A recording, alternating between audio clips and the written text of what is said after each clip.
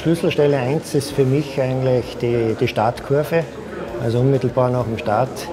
die sehr entscheidend ist für die nächsten 40 Sekunden eigentlich bis zur ersten Zwischenzeit, äh, dass sie den Speed dort mitnehmen. Das ist zum einen, wenn sie vom Start runter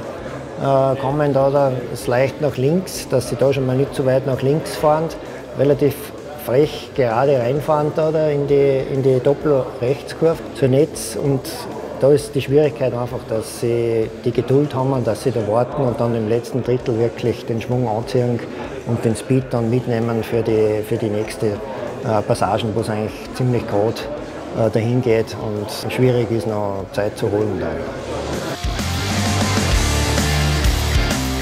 Äh, sicher die Anfahrt zum Hundschopf und äh, dann mit der Minschkante.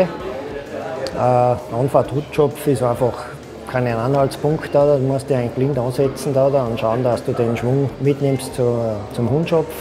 Und dann geht es runter, sicherlich äh, äh, mitunter auch eine Mutstelle da, da zur Minschkante hin, dass man da auch nicht zu weit wird, dass man frech hinfährt, gut mitgeht und den Gegenhang da, da ein bisschen geduldig reinfährt und dann den Speed in den Canadian Corner mitnimmt.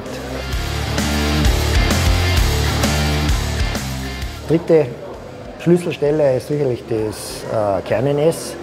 wo du mit über 100 km/h hinkommst und dann eigentlich äh, ja, äh, eine Schikane hast, wo du, ja, im Prinzip braucht es da kein Tor nicht, weil du kannst eigentlich nur um das Gelände einfach herumzufahren da, da und, und ja, möglichst den Speed mitnehmen für das lange Dreien dann.